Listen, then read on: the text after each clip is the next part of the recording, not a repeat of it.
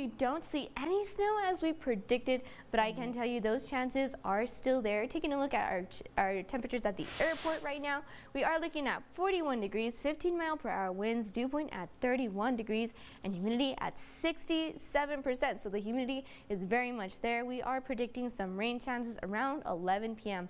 Right now, around the region though, Las Cruces is looking at 36, Deming 35, Truth or Consequences 32, and Cloud Cloudcroft below freezing temperatures at 20 degrees. So bring those furry friends inside. It is very chilly outside. Looking at our highs for tomorrow, we are forecasting 51 degrees. We're going to be seeing mostly cloudy skies and those chilly gusts, northwesterly winds from 15 to 20 miles per hour. Sunrise at 6:52 a.m. Looking at forecasting highs for Las Cruces tomorrow, 49 degrees. They're also going to be having some chilly gusts, but mostly sunny skies, believe it or not.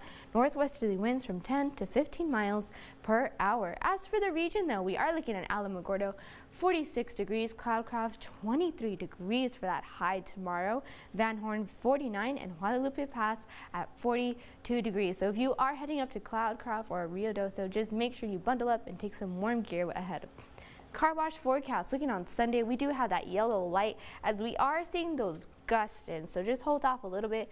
Monday, Tuesday, we do have the green light. So if you are looking to get that car wash done, you are good to go. So just wait a little bit longer that nine day forecast. Starting on Super Bowl Sunday tomorrow, we are predicting those chilly gusts. 51 is going to be our forecasted high. 30 is going to be our low. That's below freezing temperature. As far as Monday, mostly clear skies, 57 as our predicted high, 32 is our low, and Tuesday, 64 degrees, so warming up just a little bit. 38 as our overnight low, and as for Valentine's Day, it's going to be a beautiful sunny day paired with love, of course.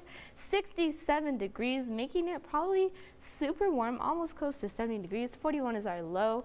Thursday, 68 degrees, and Friday, 69 degrees. As far as Saturday, though, we are seeing 67 with the overnight low of 44 degrees. Sunday is going to be paired with breezy conditions with a high of 66 degrees, 42 degrees at our overnight low, and for Monday, 67 degrees. I do want to give a big shout out to our weather watcher. This is from Latana Jan in Las Cruces. They did get a bit of dusting on their mountains over there. So if you would like to be a part of our weather watchers, make sure you submit those photos to news at ktsm.com or any of the platforms that you see on your screen. I would love to see that snow right in the mountains that we're going to be predicting early in the morning. Well, don't go anywhere. Sam